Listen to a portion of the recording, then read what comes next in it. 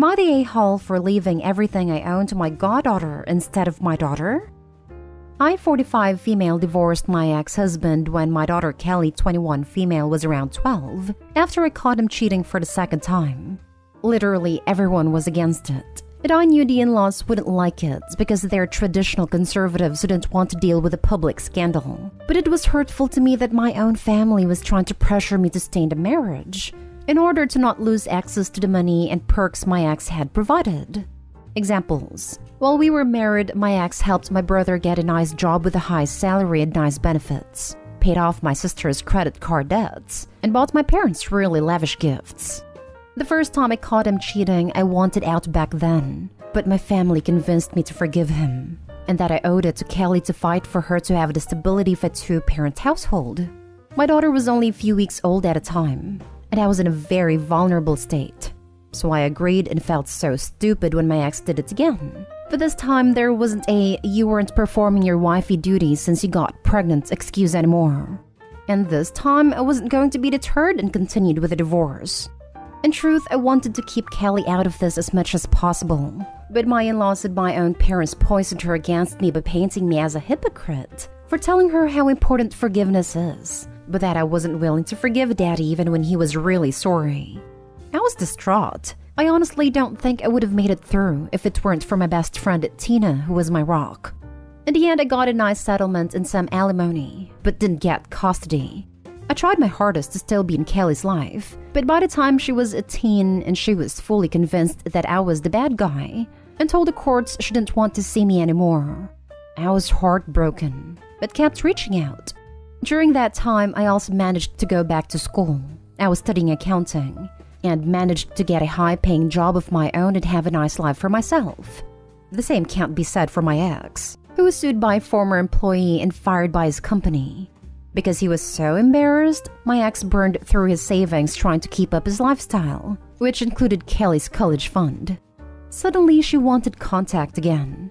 And I won't lie and say that I wasn't hurt at the idea of her only wanting contact was for my money and agreed to pay for her to go to grad school on the condition that she signed an agreement that she won't contest my will where I'm leaving most of that I owned to Tina's daughter, Laura, 18 female. The few relatives that I'm still on good terms with think that this will damage any chance at rebuilding a relationship with Kelly, and that I should just split everything equally. However, don't want to have the type of relationship with Kelly that I feel like I have to pay for. Am I the a hole? Edit. Because I keep seeing this in comments and messages, I'll clarify here as best as I can while still trying to maintain some privacy. 1. I didn't get custody, but I did get visitation. And when Kelly was 14 to 15, she told the courts she didn't want to visit me anymore. 2. My ex came from money and had a good income, which meant he had better lawyers and the aid of my brother and parents during the divorce. 3. Not too long after the divorce, my brother lost his job. I'm not sure what happened, and I never cared to ask. 4. I'm no contact with my brother and very low contact with my parents and sister. 5. Tina is my documented power of attorney. Should there ever be a situation where I can't make legal decisions for myself and vice versa? 6. Alimony is not child support, so that's why I was able to get it. Now for the top comments. Not stay home. Your daughter has always been against you because of your family, and now at the moment when things aren't looking good, she wants contact. Ignore her. And your family basically wanted you to stay because they wanted his money. Yep. Not too long after the divorce, my brother was let go, and my sister was on the verge of filing for bankruptcy. Guess who got the blame? Especially when I wouldn't use some of the divorce money to help out the family. How on earth did your sister manage to get so close to bankruptcy when her debts were paid off? That's her own fault. The brother being let go? If it were wrongful termination, then he should have sued. They were just making you the scapegoat. Honestly, I wouldn't have given the daughter a dime. There are many ways you can be sure she can't contest the will. Obviously, you've already done what you've done. But going forward, you just do what's best for you. Not day hall, but there's a lot to unpack here. Does Kelly know what exactly happened? Is her missing college funds the only reason why she reached out to you? Or is it her being an adult and finally realizing fully what's going on? At the time, she didn't. But once the divorce was over, I did explain the situation, but she didn't believe me. If you're asking me if my daughter has come out right and said that all she wants me for is my money, then no. However, looking at the timing of her wanting to actually speak to me again, and seeing how the majority of our limited talks is about her schooling and her financial concerns, I'm inclined to believe so. I honestly would feel a bit better if she did sign the agreement and continued speaking to me as proof that I'm not just a checkbook to her. I'm sorry to say this, OP, but I think she wants to take advantage of you now that the tables have turned. If her dad would have been loaded still, would she have reached out to you? I wouldn't give her the money, not even with that agreement. But if you do want to help her out, make her sign that agreement. Honestly, that's where I'm leaning more towards. I'm prepared to accept the reality that I'm just a checkbook to my daughter, but hoping she will sign the agreements is proof that she actually misses me and wants to reconnect. Next story is titled Am I the a hole for refusing to do a DNA test?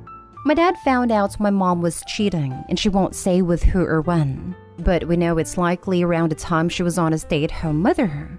The thing is, she had all of us two brothers, one sister around the same time so any of us could not be my father's. He's divorcing my mother and wants us to take a DNA test to prove we're his children. Otherwise, he isn't paying for our college he promised to do so before this, and all of us have been counting on it. My sister, oldest, did a test because she was confident she was related to our dad. She was likely pre cheating. She looks the most like him, so I was pretty sure she was. She's also in college and is relying on our dad. It is going to keep paying because of the results of the paternity test came back positive. I have a feeling I'm not my dad's biological kid, since I don't look anything like him. And people even commented I don't look like the rest of my family. I'm terrified because I think he's upset enough that he won't talk to me anymore, and definitely won't be paying for my college. I don't want to take the paternity test because I don't want to know. But if I don't, I probably won't get college paid for. The money isn't in a college fund, but set aside as investments my dad has. It isn't going to my mom in the divorce proceedings, probably. I don't know how things will go, and I'm starting college in September. I stupidly picked a pretty expensive school because I thought my dad would pay for it. I decided it was okay, but now, even if my mom was willing to, I don't think she can afford it. I'm so mad at her and my dad for putting me in this position. I've told him I'm not doing the test and he said that's okay, but he will just assume I'm not his and not have anything else to do with me once since I'm 18 already. I'm living with my mom but not talking to her because of this. So you're 18 and just found out your dad may not be your dad. It is punishing you for something beyond your control. Not a hole. Your mother is clearly an a-hole. Your dad is being an a-hole to treat you as a stranger if you're not getting a DNA test. This is a no-win for OP. Even if it turns out he is DNA related, he'll always know his dad was willing to throw him away over a piece of paper. He already threw him away.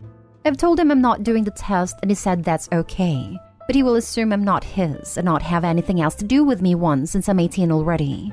I'm sorry, OP. Of course not, Day Hole. Not Day Hole. Your parents suck. I would have the DNA test done personally just to find out. And if you aren't your dad's, try to figure out who your bi-dad is. It will help later down the line if your doctors ever have any hereditary health questions. You don't have to now for sure, but I eventually would once I came to terms with it. I am so sorry you are going through this. That is so awful to deal with as a 17 or 18 year old kid. Go to the college you think will be best for your future. I funded my own college. My parents didn't pay a dime, and you can do it. It's harder, but you are capable. Was going to say exactly this. Take the test for yourself, OP. It's info you may really need in the future. It is so unfair of your dad to do this. He still raised you for Pete's sake. He just sounds like he wants to hurt your mom through you kids. Oh, hun. Of course you're not a hole. But what are you gaining by not taking it? Is there anyone you can talk to? Your dad is being awful. I can't imagine being willing to walk away from my child. And you are his child, whatever a blood test says. My mom is trying to get me to not take it. I think because she knows I'm a result of her cheating. I think you should take it honestly. So long as there's a question mark, there will always be strain on things because of what your mom has done. Your best bet to salvage the relationship with your dad is to talk to him personally. Tell him that you're scared of what the outcome could be, and then take it with him. Even if you end up not being his, if he ever loved you at all, you may be able to move past it if he can recognize that it isn't your fault, only hers. Edit. After reading some of the comments, I've decided to do the test. I didn't want to out of fear, but now it's clear it doesn't really matter and it's better I know for sure. Next story. Am I the a hole for saying my parents should have stopped having kids when they started realizing they're all autistic? So, I'm 16 female, I'm the oldest of eight, and the youngest six have a combination of autism and oppositional defiance disorder. If you have ADHD, and four out of the six are nonverbal with high support needs, I'm expected to help out. And have pretty much been emotionally neglected since age six, when my parents started popping out more kids. So, due to everyone's sensory issues and for the sake of routine, Christmas has been done in our house since I was eight and that includes for me. Birthdays aren't really done either, and my parents spend so much time trying to keep everyone under control that myself and my normal brother, seven male, miss out on just about everything. Last Saturday was my birthday, and I stupidly decided to ask my parents for something I've been wanting for a while. But I don't get an allowance and can't work due to helping out at home, so I can't save for it. It's not expensive, but it is out of my price range. They said no, expectedly, and reminded me for routine's sake we don't do birthdays in this family.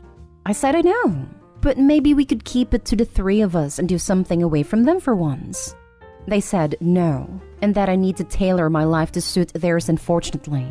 I kind of snapped it may be years of built up resentment or because I was in a bad mood, but I said that I don't understand why they keep having kids just to make their neurotypical kids suffer more each time. They should have stopped after they had two diagnosed with autism.